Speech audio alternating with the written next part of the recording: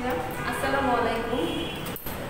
আমি জানাই তোমাদের কলেজের অনলাইন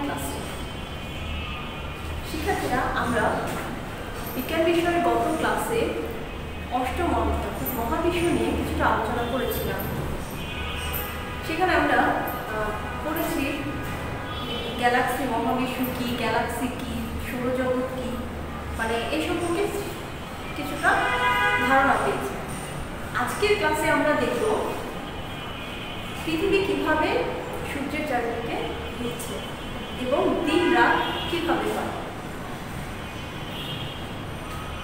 পৃথিবী সৌরজগতের একটি গ্রহ। অন্যান্য গ্রহের মতো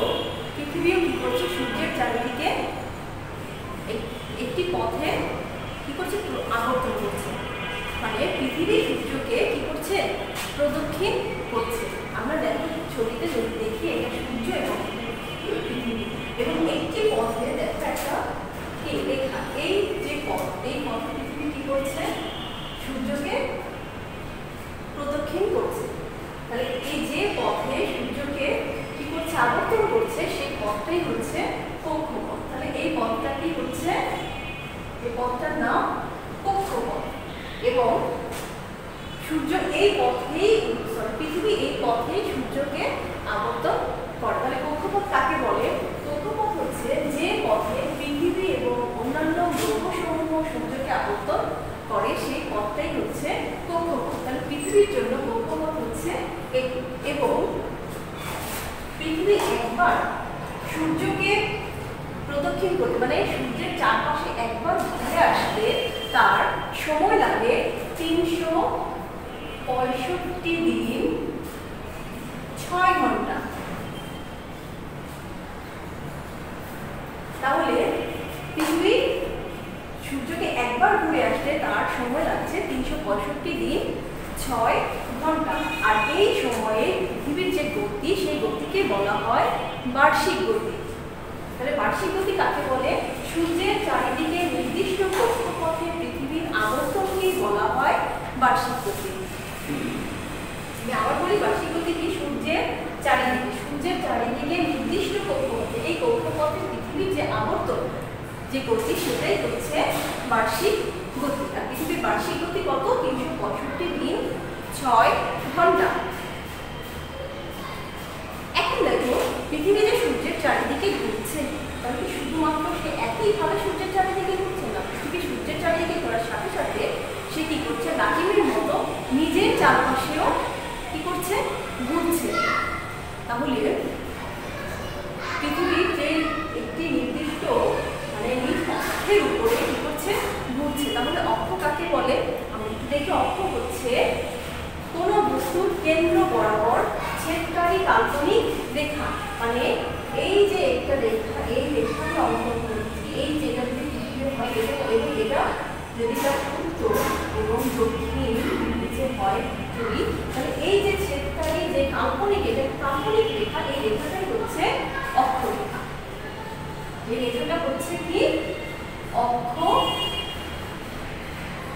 রেখা তাহলে অক্ষ কি কোনো বস্তুর কেন্দ্র বরাবর ছেদকারী কাল্পনিক রেখা পৃথিবীর এই অক্ষ রেখাটি পৃথিবীকে কি করেছে উত্তর এবং দক্ষিণ মেরু বরাবর কি করেছে ছেদ করেছে এবং এভাবে তা সে কি করছে নিজ অক্ষের উপর পশ্চিম থেকে পূর্বে আবদ্ধ করছে আমরা একটু পৃথিবীর মডেল যদি দেখি যেমন দেখো আমার কাছে একটি কি আছে পৃথিবীর মডেল দেখতে পাচ্ছ তোমরা এখানে এই যে এই যে এটা এই- মাঝখানে, এই বরাবর যে কেন্দ্র বরাবর, এইটা হচ্ছে তার অক্ষরেখা।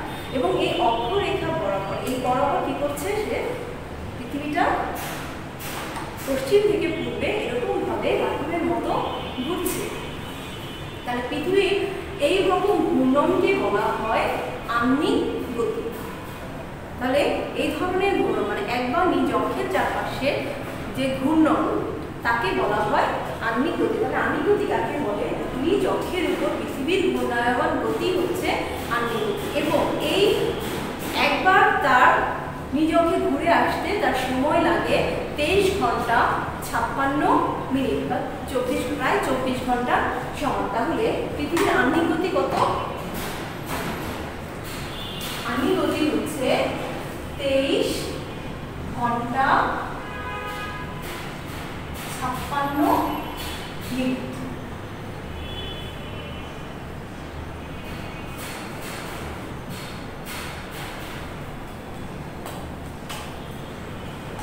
শিক্ষার্থী আমরা দেখলাম যে পৃথিবী কীভাবে সূর্যের চারিদিকে ঘুরছে এবং নিজ অক্ষের চারপাশেও ঘুরছে। আমরা দেখি কীভাবে দিন এবং রাত হয়।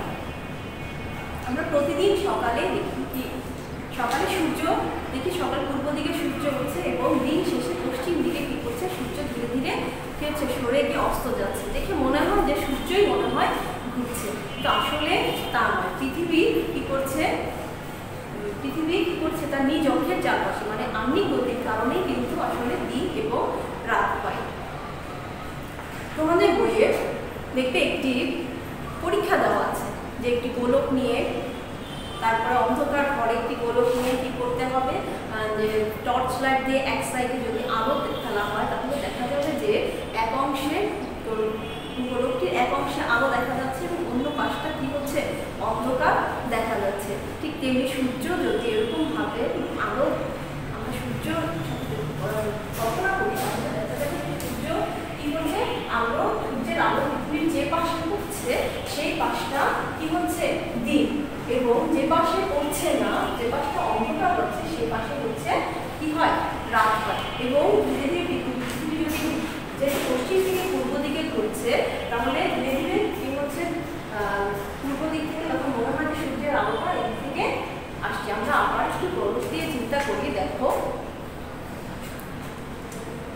দেখো এখানে যদি মনে করো যে তোমাদের এই এপাশ থেকে কি হচ্ছে, আলো দেখা যাচ্ছে তোমরা কি পিছনের রেখাটা দেখতে পাচ্ছ অবশ্যই তোমরা দেখতে পাচ্ছ না এপাশ থেকে যদি আলো ফেলা হয়, তাহলে এই সাইডের অর্ধেক অংশে আমরা কি দেখতে পাবো? আলো।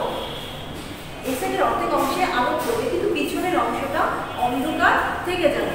পিছনের যে অংশটা অন্ধকার থেকে যাবে, সেই অংশটাতে তখন ওই একই সময়ে কি হচ্ছে? রাত হচ্ছে, আর যে অংশে আলো পড়ছে সূর্যের আলোটা যদি এদিক দিয়ে পড়ে তাহলে এই অংশটা আলোকিত দেখা যাবে আর এই অংশটা অন্ধকার দেখা যাবে তখন এই অংশে দিন এবং পিছনের এই অংশে তখন কি হবে রাত আবার দেখো যদি ধীরে ধীরে এভাবে ঘুরছে মনে করো এই অবস্থানটা তো কথা চিন্তা করে এটা এই অবস্থানে এখন আলো পড়ছে এখন এই অবস্থানে দিন আবার যদি এখন যেহেতু পৃথিবী কি করছে প্রতিনিয়ত পশ্চিম থেকে পূর্বে কি করছে ঘুরছে তো এই অংশটা ঘুরে গিয়ে পিছনে চলে গেল তখন এই অংশটা আর দেখা যাচ্ছে না মানে আলোটা এই অংশে পড়ছে না এই অংশটা পিছনের দিকে চলে গিয়েছে তখন এই অংশে কি রাত হবে এবং তার বিপরীত অংশে দিন হবে এভাবেই এবং সংঘটিত হয়। অর্থাৎ আম্নিক গতি, পৃথিবীর আম্নিক গতির কারণে দিন এবং রাত সংঘটিত হয়। তাহলে শিক্ষার্থীরা, আমরা আজকের পাঠে কি কি দেখলাম? কিছু শর্ট কোশ্চেন পেয়েছি যে কক্ষপথ কাকে বলে? পৃথিবীর কয় ধরনের গতি? আমরা দেখেছি পৃথিবীর দুই ধরনের গতি। একটি হচ্ছে আহ্নিক গতি এবং একটি হচ্ছে বার্ষিক গতি। আহ্নিক গতি কাকে বলে? নিজ অক্ষের উপর ঘূর্ণায়মান গতি হচ্ছে আহ্নিক গতি আর বার্ষিক গতি হচ্ছে কি? সূর্যের চারিদিকে প্রদক্ষিণ, সূর্যের চারিদিকে যে ঘূর্ণায়মান গতি, সেটা হচ্ছে বার্ষিক গতি।